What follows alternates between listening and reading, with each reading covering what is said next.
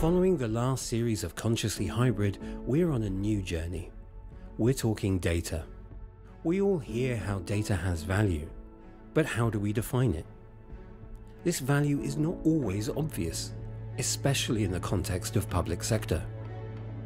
We generate data from our birth to our death through many interactions with a huge number of public services. We're asking how we should be thinking about data and how it could be used in the future. So, data value for me is the insights and the stories that you can tell and start to predict once you start looking at that data. So, it's not data value is not a financial value in the public sector. It's about being able to deliver better services and predict what services are going to be needed um, by UK citizens or students or, or patients that's really data value in public sector sense. I think if you look at how things have changed in the, probably the last 15 years, the companies that are doing well today really understand about that intangible assets. So intangible assets being knowledge, um, the data, you know, the know-how, IP and how that's all made up. And that's really changed. So I think like 15 years ago, companies would have been thinking about their physical assets, but actually the data assets are now of value. And if you think about what value means, so the first question is to whom? Um, so you have to ask yourself that question, and, and, and it, the value really varies from putting it on the balance sheet to um, understanding how you might sell it to actually how the value from opening that data up. Why, why are we thinking about data and oil in the same sentence? Well, oil is, is a liquid, so it moves, it changes form quite frequently. And that's the same as data. It's constantly moving, it's constantly changing. And if you want to find new wells of data, it takes planning, it takes exploration. You've got to get people to it. You've got to find it. You've got to build rigs. You've got to drill to it in most instances. And when you find it, and it's a, it's in a different shape, a different depth, a different volume to some other data that you found somewhere else. But then, of course, once you've once you've got it out, you need to build refineries you know, because you need to take it from this raw format into something that we can use. And that's why I like the data is the new oil analogy, because if you think about it in those terms, you start to understand about the fact that is data in its raw form valuable? Well, it is when you refine it, but then you can refine oil into do lots of different things. So, where can you use that oil? And in some ways, you'll find something that is very valuable that could give you expanded routes to market, in which case we're talking, you know, it's exponentially of value. Or it could be something that is a lubricant that makes a different part of your organization move more freely to uh, enable it to accelerate and do more and different things. Where it breaks down in terms of oil being like data is because it's replicatable you know, you could argue there's an infinite amount of it. So we're not talking about finite resources. We're talking the ability, if you harness it in the right kind of way, it's coming in at such a volume on a daily basis. You can you can work out how you can build these refineries to take an almost unlimited amount of information and turn it into, in theory, an unlimited amount of value. Data value is an interesting concept. Um, in the private sector, you know, it's it, if you think of retail, for example, uh, I think 10 years ago, we all started getting cards that we used with our shopping, and we got benefits from having the card. But really, what was happening there was the companies we were giving them permission to use our shopping habits so they could market to us more effectively. There's a different type of data value that government has. Uh, government really is wanting to use, and the public sector generally, our data in order to improve the services that they can provide, understand things. And I think actually, in many ways, the public sector is only now beginning to recognize the value of that data. And it's not a monetary value, it's societal value. So, one of the things we've been looking at is the value from um, sharing data. And when you share data, um, you get you can get more value from it. So there's some data sets that are really about being critical data infrastructure in the UK. And if you think about those, you really want those to be shared really openly. So a lot of geospatial location data is is in that category because it means actually there's less friction that goes on there. More people can use it and build upon it and have that added value. So we did some work a few years ago where we looked at data sharing across the public and private sectors. And when you look at it, if you encourage that data sharing, we, we said it can contribute between 1 and 2.5% of GDP. So then we also looked at then what that would meant if you scaled it to the top um, 20 economies in the world. And that was coming out with anything from uh, above um, 700 um, um, billion dollars in value to the world and above. So you can see that actually there's lots of value in sharing that data. I think there's a huge opportunity for the UK, both the public sector and the private sector, to use the data that it gathers to transform their organizations. I think you can see that's happened much more so to date in the private sector. It hasn't happened so much in the public sector. And I think that, that, that that's not because the public sector doesn't want to do it. I think it, it, it, it, it lacks the people and the, the, the, the, money and the time to do it. So I think that opportunity is there. I think there's a challenge for public sector because when we think about data value, people immediately think of economic value. So that really kind of puts the public sector on the back foot a little bit, I think, in terms of public expectation. And there's maybe a bit more of an education required um, to say, look, value in its broadest term can mean societal value, social value, um, and it's it's being able to improve services, improve the community, improve the country you live in, which has value for everybody um, in terms of you know better quality of life, easier interaction with, with public services, the ability to plan for the future. I think the interesting part from a citizen's perspective is there needs to be more education about the value of your data. And I think that's starting to come. And we're seeing quite a lot of movement in the in the US where there are a collection of individuals getting together and understanding that their data has value. And some people are doing it for humanitarian purposes, and some people are doing it for monetary purposes. And I think whether or not we start to see some of those models come over to the UK, which becomes around, right, okay, my data has value. So if something is freely available to me, where is the product? I'm the product.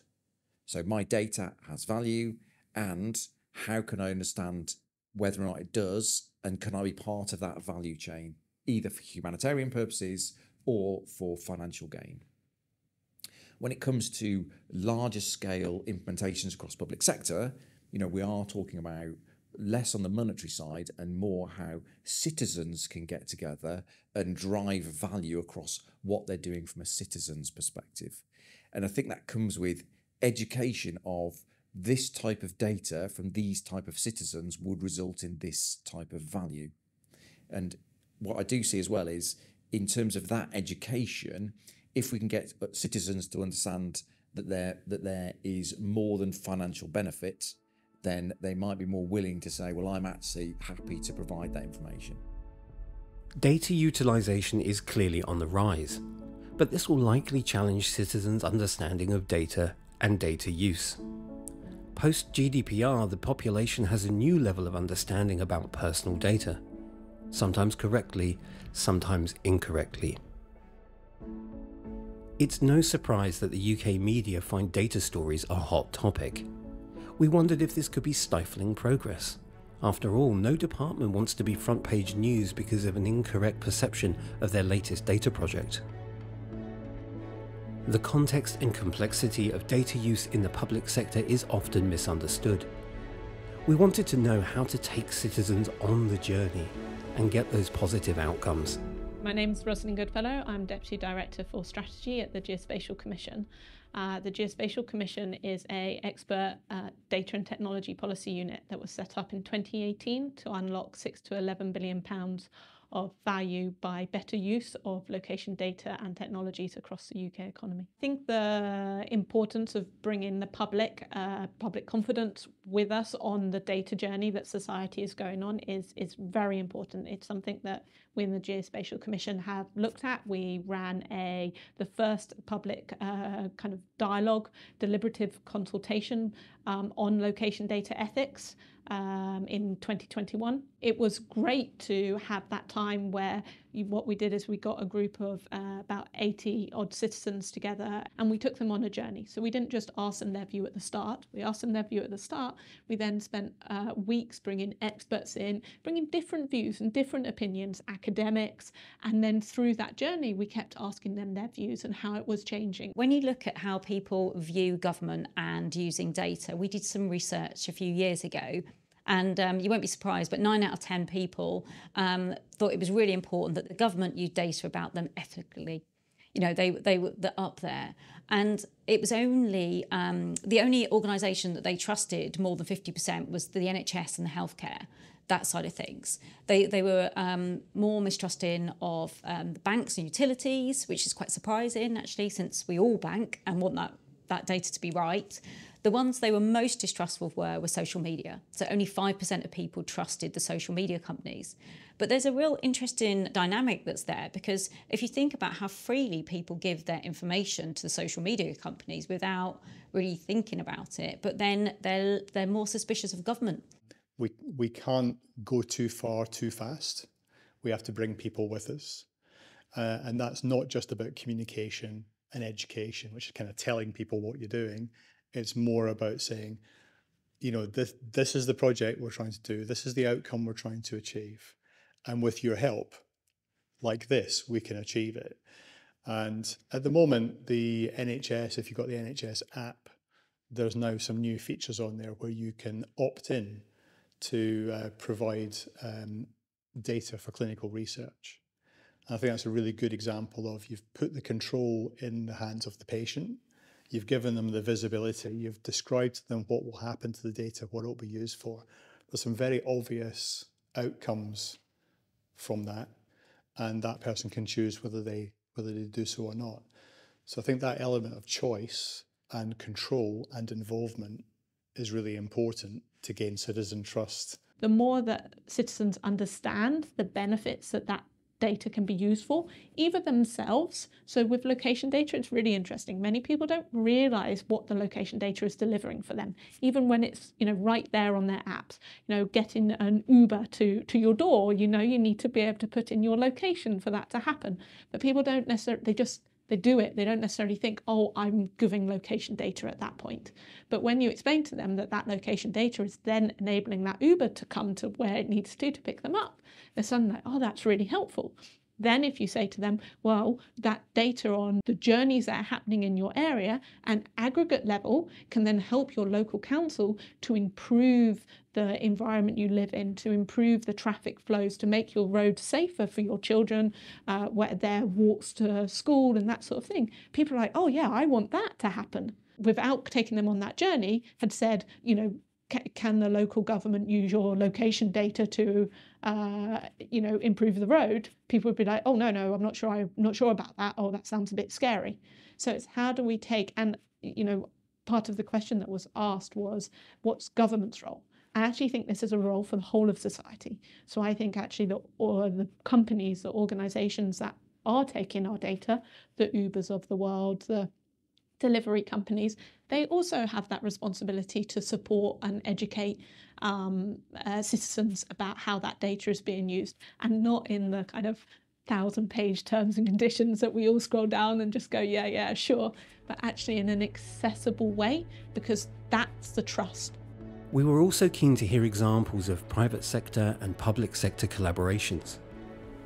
Could there be collaboration opportunities to advance data modernisation in the UK public sector?